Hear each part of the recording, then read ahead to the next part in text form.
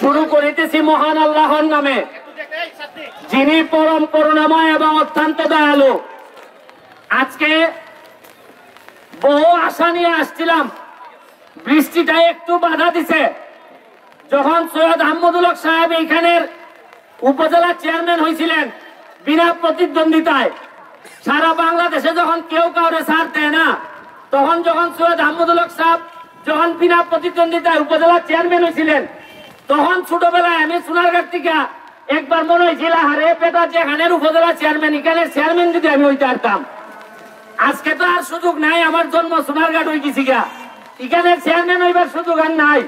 তবে আজকে আইসি বালা করিয়া মনে করলাম, চেয়ারম্যান যদি হইতে পারতাম না তখন তো ফুটবলে আসলাম এখন লুকাইয়া কিতা করছে আরিফ চেয়ারম্যান লুকাইয়া কইছে যে, না বা, আমি অমনি নর্মাল একটা টিম করব কিন্তু লুকাইয়া দুই লাখ খালা নাই জিরিয়া নাই নিছিলাম আরিফ চেয়ারম্যান তার ভাই দিছে তার ভাই নিজেও দুই লাখ খালা করে দিছে খালা।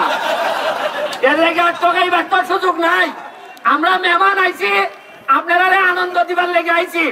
আর সোনারঘাটবাসীর পক্ষ থেকে আপনারা অনেক বেশি কৃতজ্ঞতা, শুভেচ্ছা, অভিনন্দন এবং দাওয়াত দিতাম আইছি। আপনারাও সোনারঘাট যাইতা আপনার সাথে আমরা একটা আত্মীয়তার বন্ধন হইতো।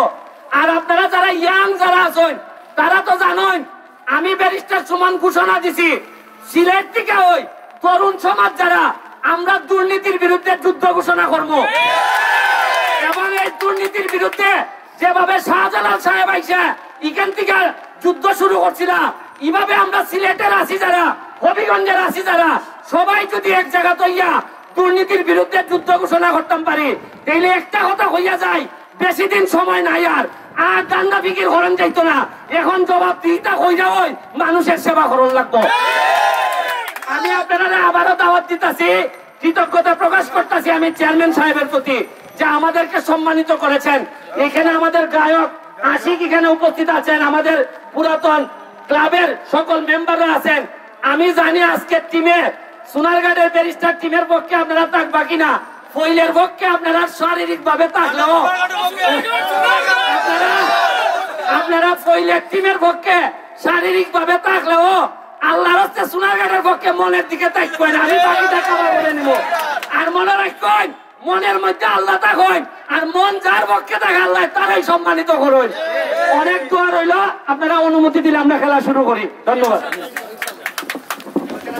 ধন্যবাদ। শুধু দর্শক দর্শক অনুমোদন একটা সবাই মাঠে বাইরে চলে যাওয়ার জন্য আমরা